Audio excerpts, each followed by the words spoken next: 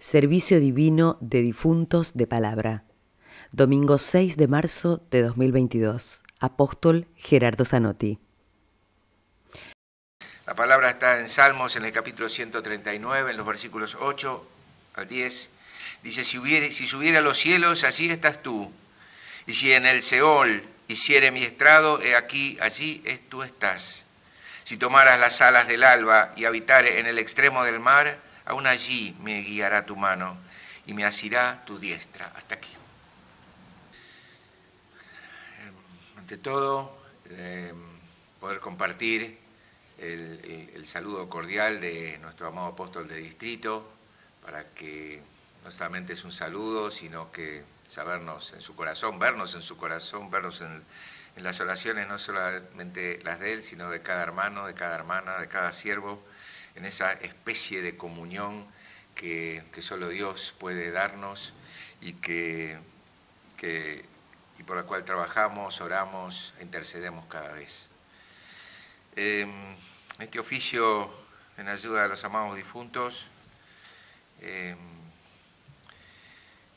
el apóstol trae esta palabra donde de alguna manera marca la, omnipresencia y la omnisciencia de Dios.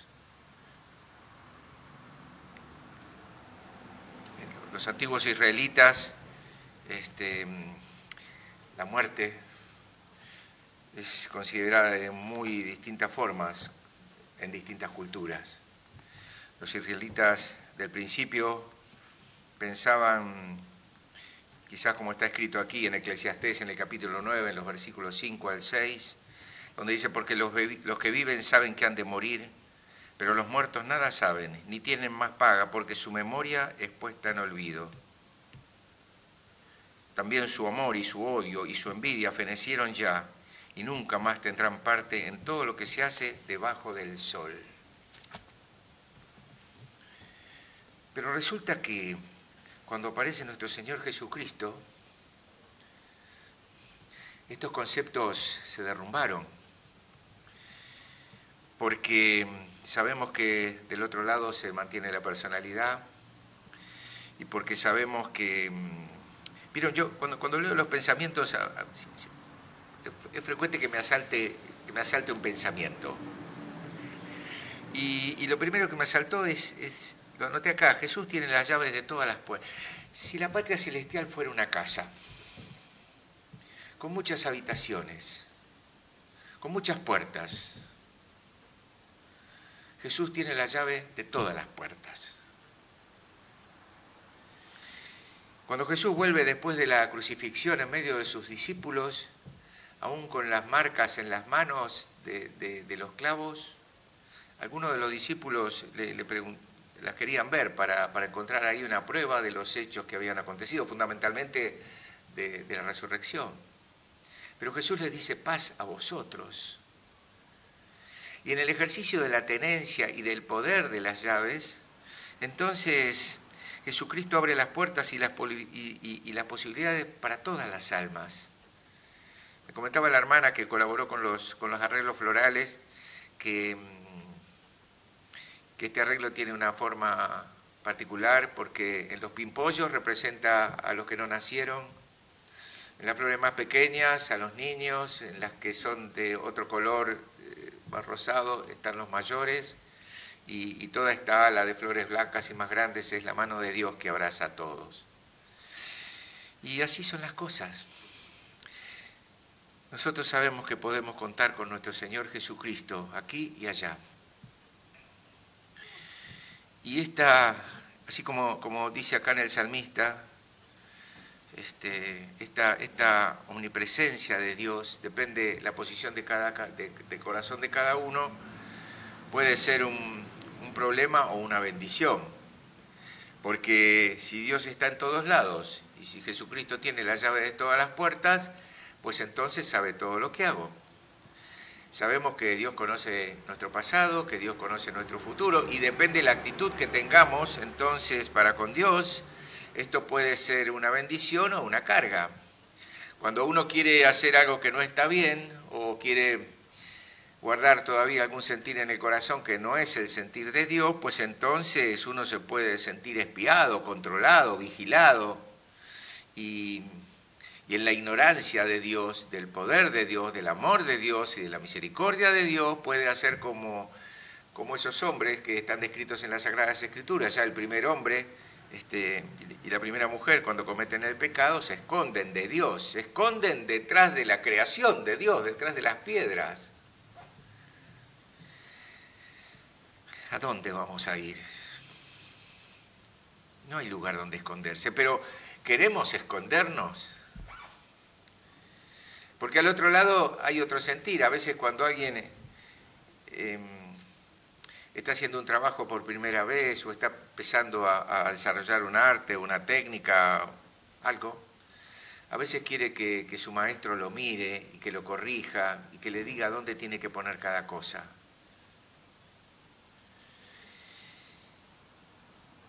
Y entonces, ¿cómo, dónde, ¿dónde nos alineamos nosotros? ¿Que tratamos de buscar algún, algún lugar donde escondernos? Como dice aquí el salmista, si subiere a los cielos, allí estás tú. Porque en otro lugar habla del Seol, los israelitas hablaban del Seol, y el Seol era el lugar donde, que estaba destinado a los muertos, era un lugar oscuro y del que no había referencia. Es como que cuando uno se moría se terminaba todo.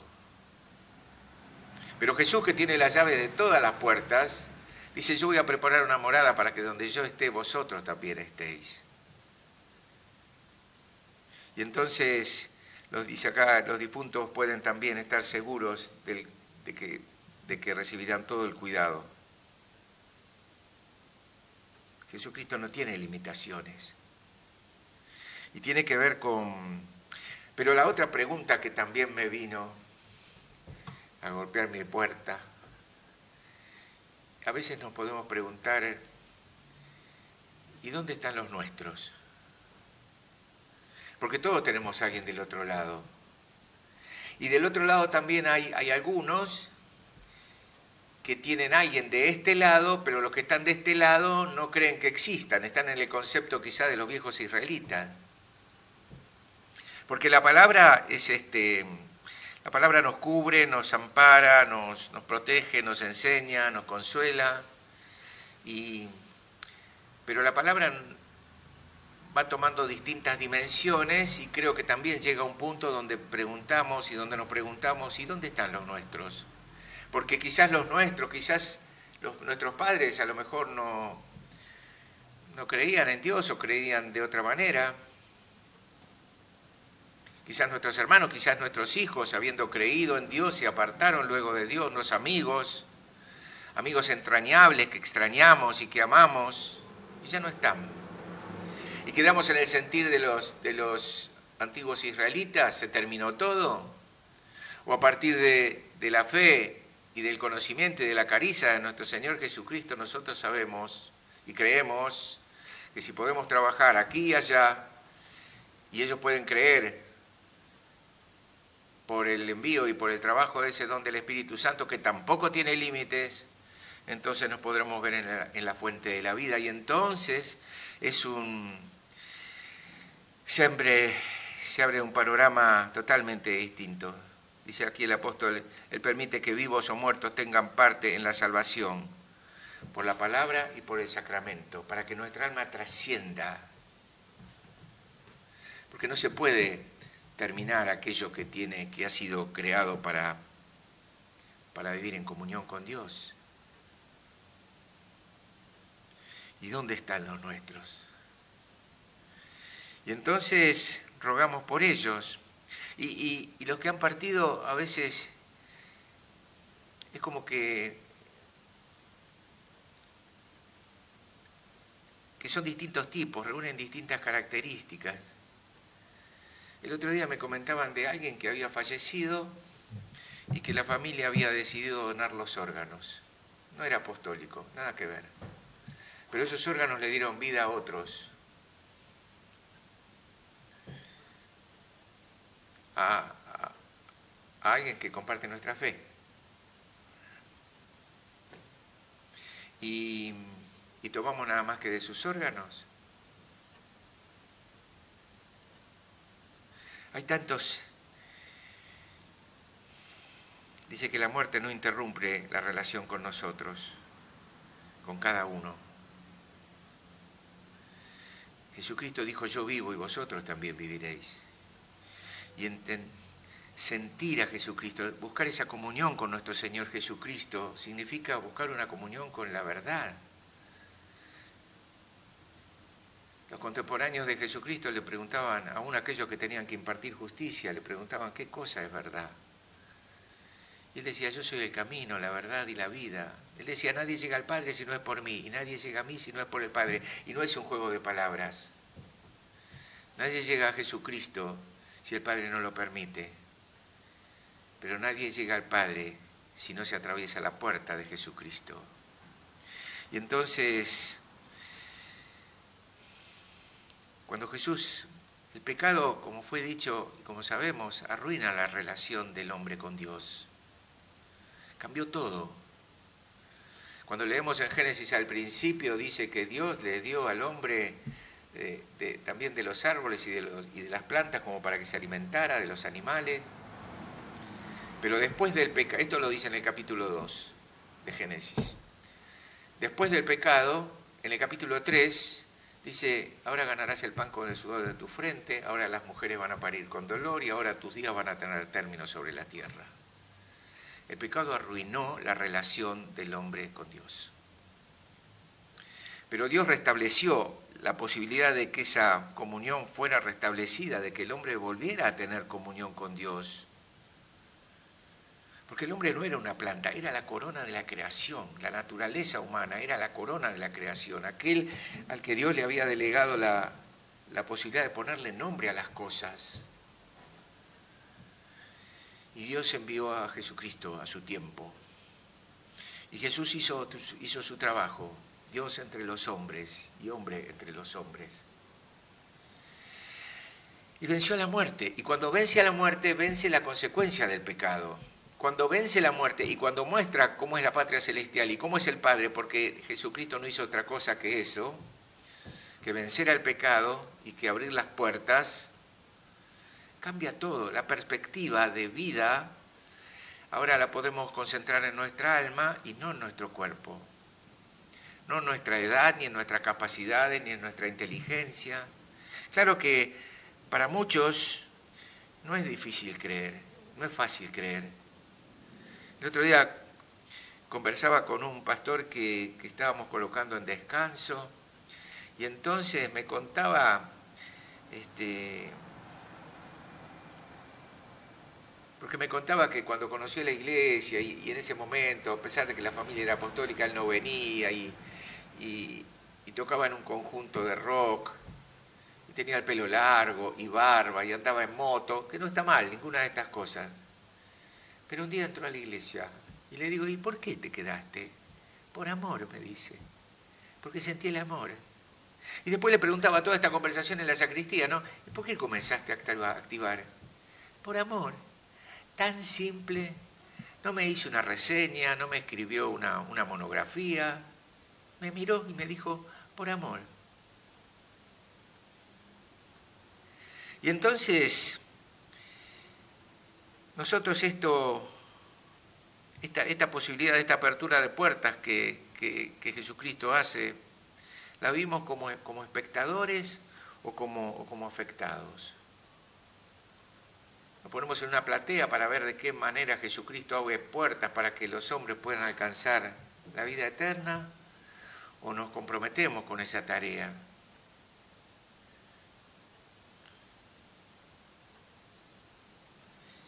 Nosotros podemos afirmar que, como fue dicho, que el Espíritu Santo conoce nuestro pasado y nuestro futuro.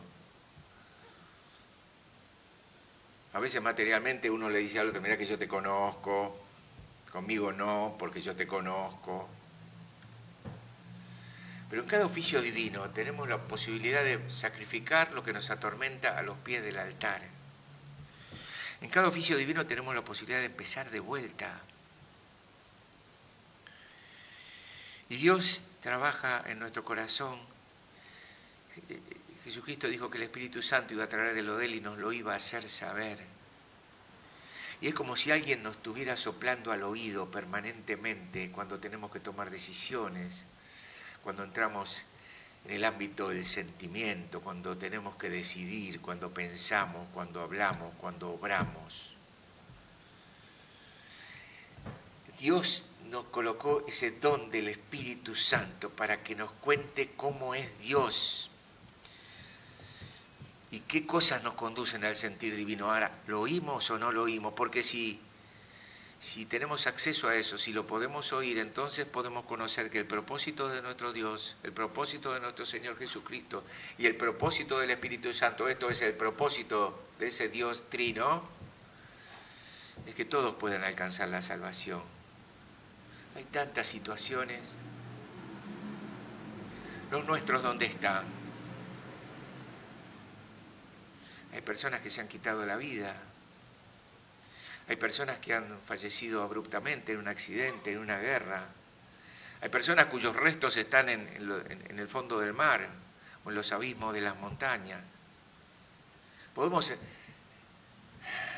transportarnos a sentir qué sintió cada uno en el último momento de su vida, si es que pudo sentir algo, si es que tuvo tiempo de sentir algo. Porque este pastor me decía, porque le preguntaba, ¿por qué, ¿por qué volviste a la iglesia? ¿Por qué viniste? Por amor. Simple, sencillo. Y, y tantas almas que, que bajo tantas y, diferentes circunstancias han partido desde el principio, muchos han partido hoy en lo que va de este día, y muchos lo seguirán haciendo en este día.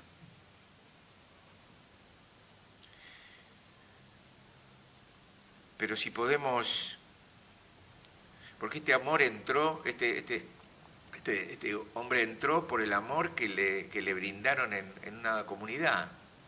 Seguramente no le preguntaron nada, no le dijeron por qué venís en moto, tampoco le dijeron por qué tenés el pelo largo, tampoco le dijeron por qué tenés barba, tampoco le dijeron por qué escuchar rock o interpretar rock pesado por ahí.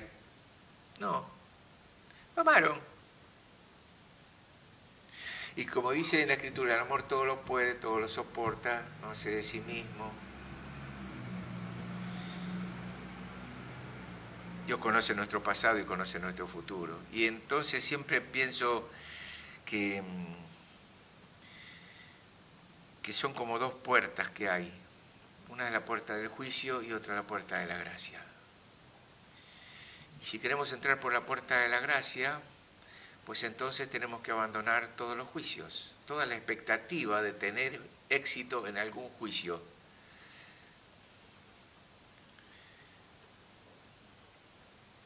Es como si estuviéramos eh, haciendo fila para entrar por la puerta de la gracia, donde el Señor nos dirá, entra en la gloria de Dios. Y hay otra ventanita, otra ventanilla donde te atienden y ahí haces fila para, para, para, defenderte en un juicio, para mostrar cuáles son las pruebas que tenés contra, tu hermano y que validan la posibilidad de que vos no lo perdones. Pero no puedo estar en las dos filas. Vieron que a veces uno cuando va al supermercado está para pagar y le dice a la persona que está atrás, mire, me olvidé la harina, voy allá y la traigo. Estoy en la fila de la gracia, no le puedo decir ni al de atrás ni de adelante, mire, aguánteme un poquito porque me voy a la fila del juicio y después vengo. Así no es. Y entonces esa, esa gracia requiere que seamos capaces de perdonar. Y solo cada uno de nosotros sabe cuánto cuánto dolieron algunas cosas que quedaron atrás en el vínculo con los nuestros. O cuántas separaciones hay a veces entre la familia, porque cuando pensamos del prójimo, hermanos, a veces pensamos de alguien que está en otro, en otro país. No, no, primero la familia, primero el que está cerca. Porque a veces nos es fácil solucionar los conflictos a la distancia, con quien no conocemos pero por ahí nos es mucho más difícil solucionar los conflictos con quien sí conocemos. No se trata de una prioridad de otra naturaleza, sino de, de que como Dios conoce nuestro pasado y nuestro futuro, nosotros también seamos conscientes de que somos necesitados, de que somos pecadores y que venimos a la casa en busca también de la gracia. Y que Dios no necesita que le expliquemos nada. Tampoco necesita que nos justifiquemos porque Jesucristo con su sacrificio nos justificó a todos. Y entonces, en esos ámbitos, en esas puertas, el Espíritu Santo también ayuda a los que no creyeron acá. Y, los que no creyeron acá, hermanos, no son... A veces nuestra fe también se debilita acá. Y el Espíritu Santo también nos ayuda acá. Entonces no se trata que la palabra viene para aquel ámbito y para este ámbito. La palabra es para todos y todos estamos bajo el mismo desafío, bajo la misma tarea de quedar fieles, porque estas almas también pueden alcanzar la, redención, también pueden ser contadas como aquellos que en el futuro den la palabra de Dios conforme la primera resurrección. Muchos son agregados. Y entonces el Espíritu Santo también ayuda a los que no creyeron. Pero de vuelta, no miremos a los que no creyeron como que... Porque a veces nosotros no creemos. O nos asalta un pensamiento y hay cosas en las que podemos no creer. O que podemos no estar en una entrañable comunión. Todos estamos trabajando en la tratar de que nuestra alma alcance esa semejanza con nuestro Señor Jesucristo, porque de eso se trata. Y si podemos tratar al otro con amor y con misericordia, con el perdón, porque Jesucristo de vuelta dijo, pasa a vosotros. Y es como si hubiera dicho, bueno, ya está, ya vencí a la muerte, vencí la consecuencia del pecado. Las palabras de Jesús se cumplieron y las palabras de Jesús pues entonces se cumplen. Quizás queramos todavía persistir en la idea de explicarle al amado Dios por qué no puedo perdonar a alguien, porque mi caso es tan particular. Pero el Espíritu Santo nos lleva a vencer, hermano, porque las situaciones por las que atraviesan las almas, las de acá y las de allá, son son, son distintas, por más que sean a veces situaciones iguales, son distintas porque cada corazón las toma de una manera distinta. Y a veces hay daños, hay perjuicios que se producen por una palabra, por un abandono, o por una presencia, o por un hecho, o por una ausencia, o por un silencio, o por una palabra, pero producen distintos efectos en el otro.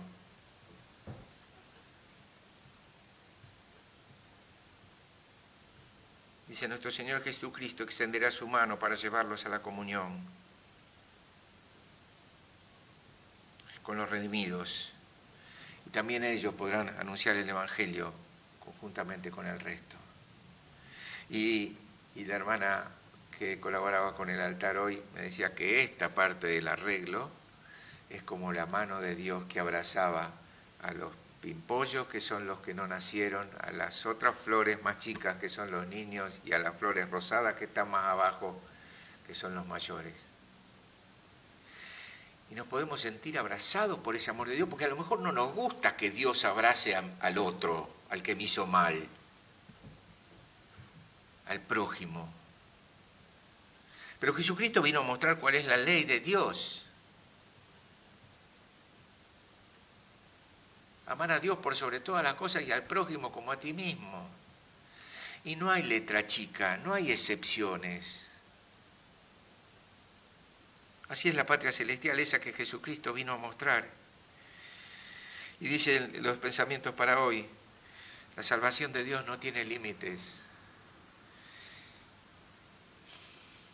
Y nuestros límites no limitan a Dios porque no somos ni mejores ni más grandes que nuestro Creador. Dios es el que establece las reglas, Dios es el que dio los mandamientos y Jesucristo es el que vino a traer de esos mandamientos. Por eso cuando dice, muchas veces, ahí por donde está el Sermón del Monte, Jesucristo dice, oísteis que fue dicho, no matarás. Pero yo te digo que si estás enemistado con tu hermano, eso también es pecado. Y a veces uno puede pensar que, que yo no maté a nadie, pero estoy enemistado con tres o cuatro. Jesucristo vino a traer el espíritu de la ley, la expresión de la ley, la expresión de la voluntad de Dios, sin letra chica. Por eso en el oficio del miércoles, de hace unos días atrás, entonces también nos expresaba acerca de qué manera de dar, ¿no? Y de acompañar y de compartir.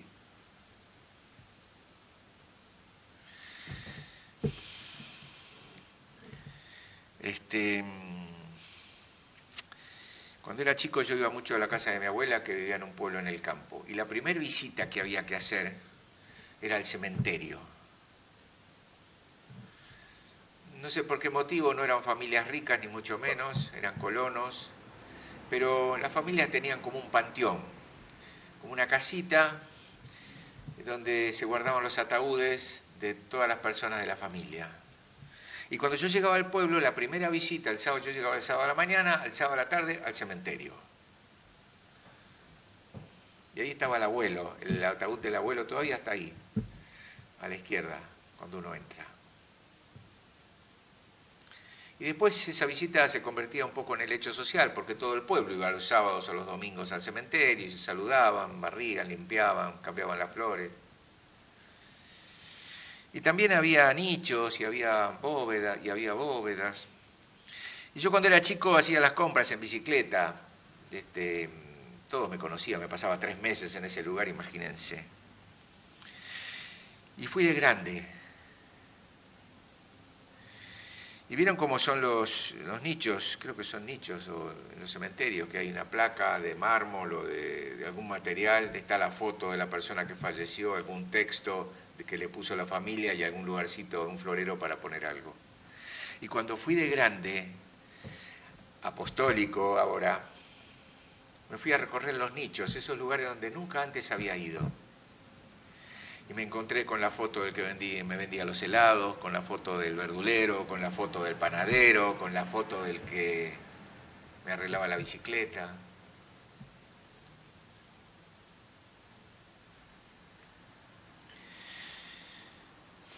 Jesús tiene las llaves de todas las puertas y nosotros tenemos la llave de la puerta de nuestro corazón. Y si nosotros podemos abrir las puertas la puerta de nuestro corazón, entonces Jesucristo podrá entrar y hacer morada. Y, y en esa morada de Jesús en nuestro corazón también dar testimonio de, de lo que Jesús hace con aquel que cree con aquel que, al cual nuestro Jesucristo se acerca. Y podamos quedar abrazados por esa mano de Dios, aquí y allá. De vuelta, ¿dónde están los nuestros? Quedaron en alguna sentencia donde dijimos, bueno, no, ellos no conocieron a Dios, ellos no creían en Dios, o ellos se pelearon con Dios, o que eran, habían recibido el Espíritu Santo y después nunca más vinieron a la iglesia o que se enojaron. Y los que no son nuestros, los que son de los otros, porque muchas veces pienso para estos oficios de difuntos, e intercedo particularmente por aquellos que no tienen nadie que quien ore por ellos.